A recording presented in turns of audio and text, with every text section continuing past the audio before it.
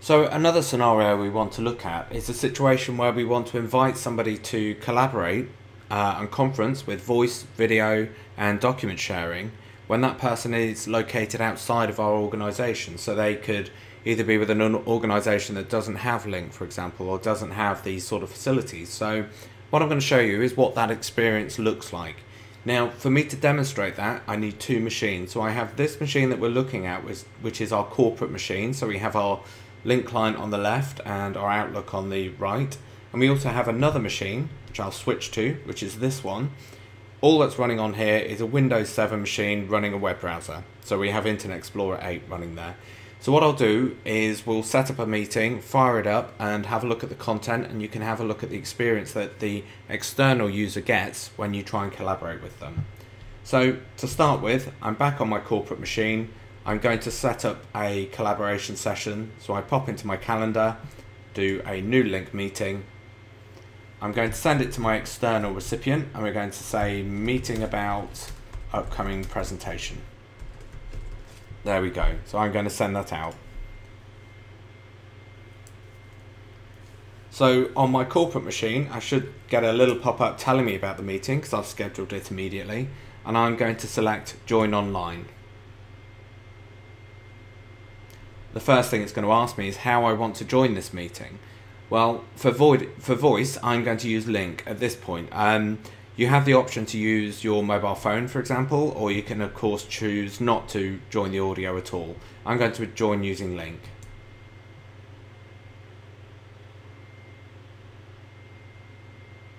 And there we go. At the moment, I'm the only one that's in this conference. Okay, so now let's switch to the person who is external to all our organisation and we can have a look at the experience from their point of view. So I'm now on the external machine. You can see, for example, that their meeting has popped up. So what I'm going to do, I'm going to open that meeting from my calendar. There we go. And I'm going to select Join Lync Meeting.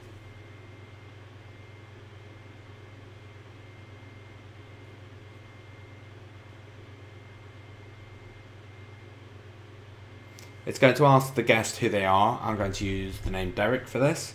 And then I'm going to select join the meeting.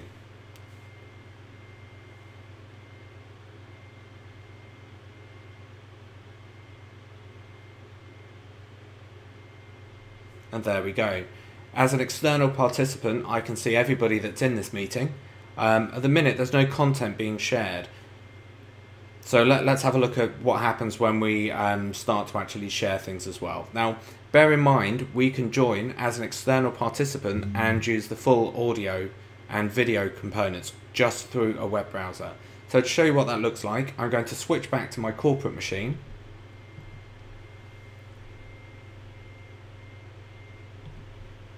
There we go. And I'm going to share my desktop. So to do that, I select share and I'm going to select the desktop button. It's warned me that I'm sharing my desktop and it's now adding my desktop share to this web conference. There we go. You can see at the top that it's showing that I'm currently presenting. So let's have, switch back to the other machine and we can have a look and see what it looks like from the external participant. There we go. So as you can see the content's very rich um, it looks very similar to what you would get in the native Lync client. And bear in mind on this machine, I am just an external anonymous participant that's been invited to this session. Now, in addition to the screen shares, we can also do things like request control from the web browser. So what will happen on the corporate machine here is I'll get a request saying Derek wants to control the presentation. I'll say yes. And now if we switch back to this machine, you'll see that Derek can now actually control that remote machine. It's very useful in, in scenarios like IT support and things like that. Now, the final step from this, I mean, what we've done is we now have a voice conference going on. We're also sharing content and we're also allowing remote control. The final step in this is video conferencing. I have the ability to step up this conference now into a video conference. And for me to do that, Bear in mind, I'm the external participant at the moment. I have a single button down the bottom there and I have the option to start a video. So if we look at our corporate connection, our corporate machine,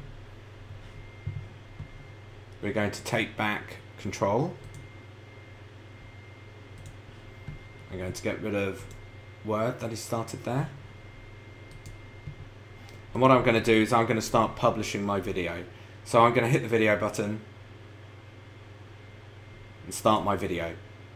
So I've now started a video conference. Now let's switch back to the external machine and we can have a look and see how it looks from that side of the world. And there we go. As you can see, even in the web browser, so the video is supported. So what we have is a very rich environment that supports voice, video, instant messaging, and the full collaboration experience. So I'm, I'm sure you can appreciate that's a very, very powerful combination.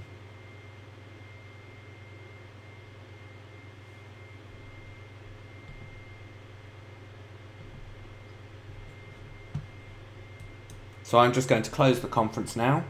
So I've left the call, the pre presentation stopped, and as far as I'm concerned that it's finished. So let's switch back to the other machine and you'll see that the conference has stopped. So we're going to exit that meeting.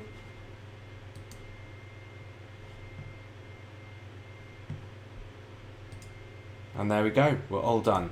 As you can see, it's a very, very powerful and flexible platform. And what's more importantly, more important really is the fact that it's incredibly simple to use and that simplicity really does drive that end user adoption story.